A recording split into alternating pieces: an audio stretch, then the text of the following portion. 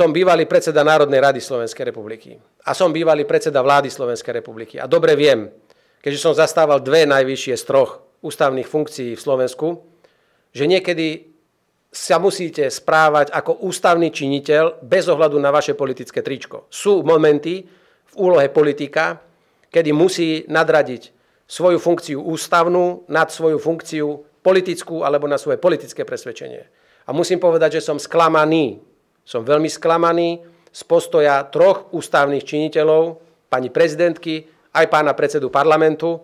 O pánovi premiérovi Hegerovi nemám takú mienku, že by z neho bol nejaký veľký politik, ale týchto dvoch uh, musím spomenúť a som sklamaný, že aj pani prezidentka, ktorá sa stále tvári, že je nadstranická, že hájí majestát prezidentského úradu, osoba, ktorá je najvyšším štátnym predstaviteľom v štáte, sa začala, sa správala politicky.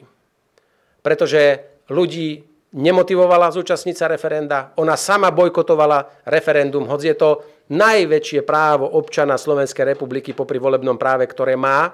A pani prezidentka, ktorá rada hovorí o tom, že Slovensko má byť demokratická krajina a má sa aj vyvíjať k lepšiemu, k nejakým demokratickým tradíciám, tak bojkotovala hanebne toto, toto referendum a sklzla spolu s pánom predsedom Kolárom aj s pánom Matovičom skôr do politickej interpretácie, pretože referendum zvolali ľudia, 350 tisíc podpisov.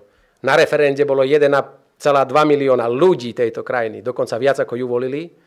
A preto ma mrzí a musím skonštatovať len, že jeden aj druhý neprekročili svoj vlastný tieň, a jednoducho sa nezachovali ako ústavní činitelia, ale ako obyčajní politici, ktorí majú svoje čisté politické záujmy a nedokázali sa povzniesť a nedokázali sa zachovať tak, ako by sa mal zachovať politik, ktorý možno túži raz sa stať štátnikom.